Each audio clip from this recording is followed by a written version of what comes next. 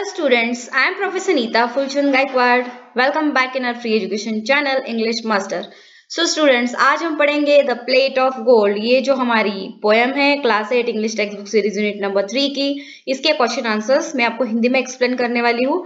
ये जो पोएम है I have already taught and uploaded so please check the link below in the description box वहाँ पर आपको unit number one two three and four पढ़ाया हुआ मिल जाएगा। Let check the question number one pick out words from the poem. This is the question number one in your textbook. So, हम text book में जो question है, वही, उन्हीं का आंसर देखने वाले हैं.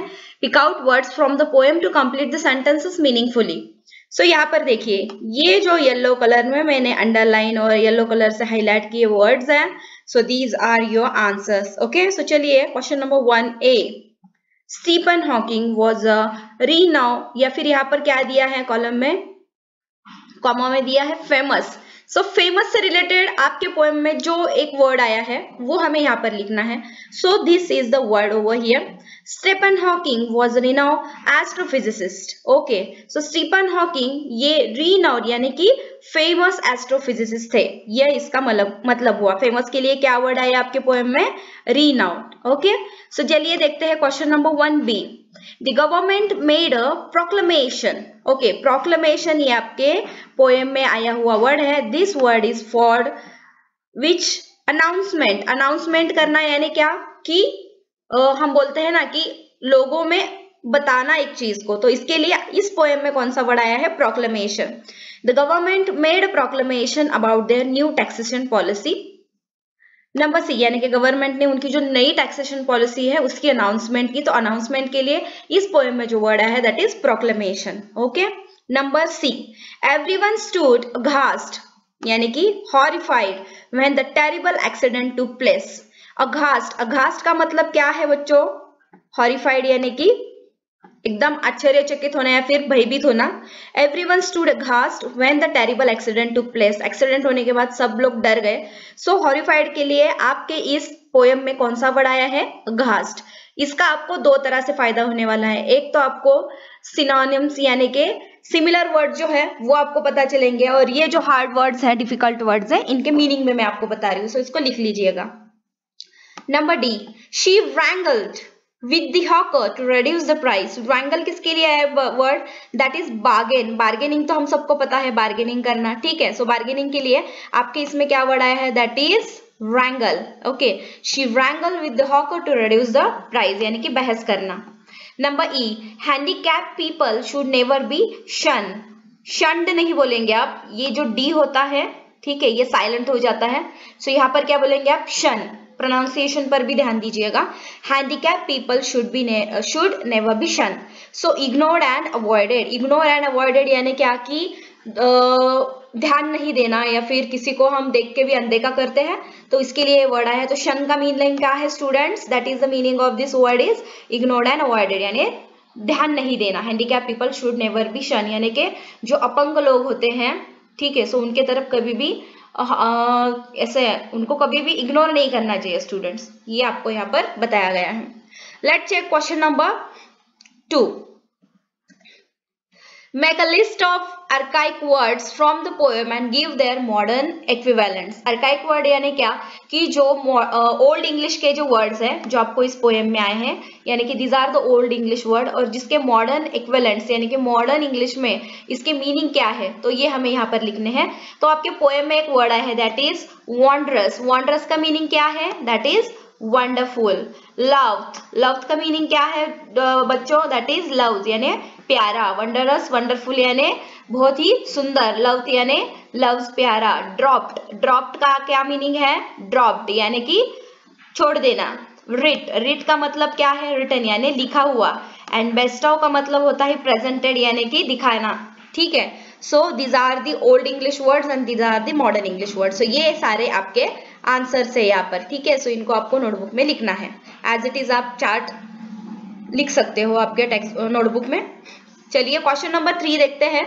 Rearrange the following in the proper order and insert them into flow chart as per the poem यानी कि ये जो कुछ सेंटेंसेस यहाँ पर दिए हैं सो so, आपको ये जो पोएम मैंने पढ़ाई है द प्लेट ऑफ़ गोल्ड इसमें को जो जो इंसिडेंट्स हुए हैं उनको यहाँ पर दिया है। तो उनको आपको रीअरेंज करना है प्रॉपर ऑर्डर में दिखाना है कि फ़र्स्ट क्या हुआ देन सेकंड क्या हुआ थर्ड क्या हुआ लाइक दिस फ़र्स्ट क्या दिया है? The plate turn to lead when it was gifted to false hearted claimants यानी कि जब ये उन लोगों के हाथ में प्लेट गई गोल्डन प्लेट जो भगवान को सच्चे दिल से प्यार नहीं करते थे तो प्लेट लीड में बदल गई।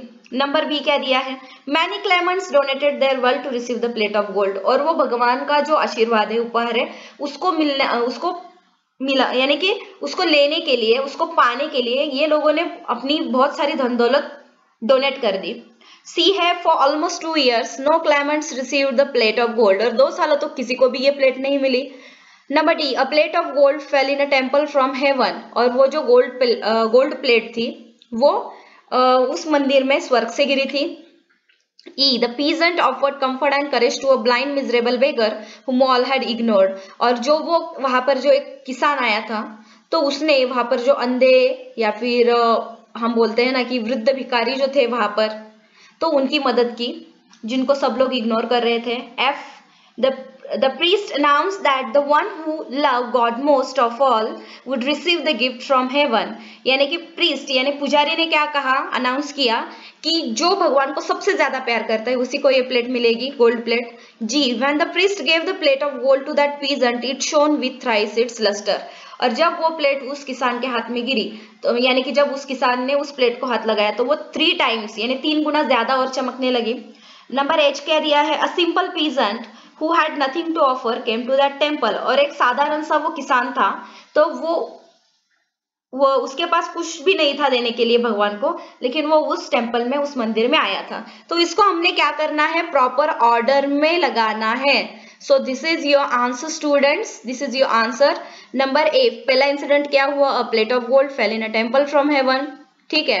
नंबर बी वाला इंसिडेंट है the priest announce that the one who love God most of all will receive the gift from heaven number C वाला इंसिडेंट क्या हुआ? Many claimants donated their world to receive the plate of gold number D का incident हुआ the plate turn to lead when it was gifted to false hearted claimants और number E e का incident था for almost two years no claimants receive the plate of gold और F वाला incident हुआ a simple peasant who had nothing to offer came to that temple number G का हो गया the peasant offered comfort and courage to a blind miserable beggar whom all had ignored and number h hua when the priest gave the plate of gold to that peasant it shone with thrice its luster so this is your answer students okay so ये आपको ध्यान में रखना है। चलिए question number four देखते हैं। Which two sayings about God are conveyed through the poem The Plate of Gold. The Plate of Gold इस पोएम से भगवान ने क्या बताने की कोशिश की है हम सबको? ठीक है? सो so, यहाँ पर चार ऑप्शन दिए हैं। इसमें के करेक्ट आपको लिखने हैं। चार क्या दिए है? Number A God helps those who help them God उन्हीं की मदद करता है जो अपनी खुद की मदद करता है। क्या ये दिया है? सो so, नहीं। God loves those who love their fellow beings भगवान उसी से प्यार करता है जो उससे बनाई हुई रचना यानी ये मनुष्य हो मनुष्य प्राणी हो जो भी सजीव इस सृष्टि में है उससे प्यार करता है। Number C God loves those who give away their world to please him और भगवान क्या उनसे प्यार करता है? जो अपने भगवान को खुश करने के लिए अपनी धन दौलत बांटता फिरे। या फिर D service to mankind is service to God लोगों की सेवा यानी कि भगवान की सेवा। तो इसका करेक्ट आंसर क्या है student option number B and D क्यों? क्योंकि बी बताता है God loves those who love their fellowship fellow beings भगवान उसी से प्यार करता है, जो उसकी बनाई हुई, जो जो भी सजीव सृष्टि है, उससे प्यार करता है। यानी कि आपको सबसे करुणा से, प्यार से ही पेश आना है। Number D service to mankind is service to God यानी भगवान की सेवा, यानी कि मनुष्य सेवा, यानी ईश्वर सेवा। ठीक है? So these are the two correct options question number five but the peasant go and pray to God what could he have pray for जो पीजेंट है, ठीक है तो उसने भगवान के सामने सर झुकाया और उसने क्या मांगा? The peasant must have prayed for the well being of all human beings उसने सारे जो मनुष्य प्राणी हैं, उनकी अच्छाई के लिए कामना की and ask God to help everyone to bear their troubles bravely और भगवान को कहा कि सबको अपनी अपनी ज़िंदगी में जितने भी दुख है या फिर कष्ट है, वो सहन करने के लिए ताकत दे। Question number 6. Imagine that you are the peasant. Compose a short prayer to God. After having received the plate of gold, write it using stylish handwriting. आपको मैंने ये पोएम दी है तो आपको एक काम करना है बच्चों आपको इसको नोटबुक में अच्छी तरह से आपकी सुंदर सी हैंडराइटिंग में लिखना है ये जो एक पोएम हमने बनाई है that is the answer God is mighty father how can I thank you for your heavenly gift I have no words to express my thanks, dearest Lord. It is all because of your love for me and for all mankind that I received this gift today. Dearest Lord, continue to be with me and all your creation forever. Make me a better person. Show me how to care and love for those who around me and most importantly, Lord, help me to realize that you are always there helping and guiding me thank you dearest Lord ये जो poem है मैंने आपको answer दिया है। आपको सिर्फ़ एक काम करना है इसको नोटबुक में अच्छे से आपकी सुंदर से हैंडराइटिंग में लिखना है।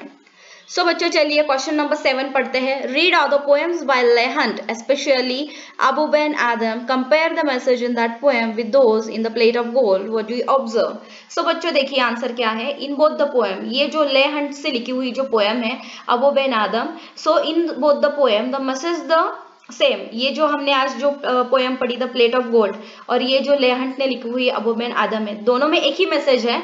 In the poem Abou Ben Adhem the person who loves is fellow man is in the list of those whom God loves and English poem the person who loves is fellow man get the gift of the plate of gold यानी कि क्या?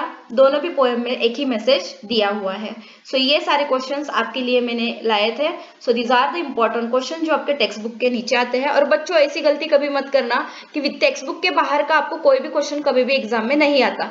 तो so, जितने भी text book में आपके lesson के नीचे पोएम के नीचे जितने भी क्वेश्चन आंसर्स होते हैं आपको उसी का ही प्रैक्टिस करना है। क्योंकि जो आपके टीचर जो होते हैं उसके अलावा कोई भी क्वेश्चन आंसर्स आपके लिए नहीं निकालते।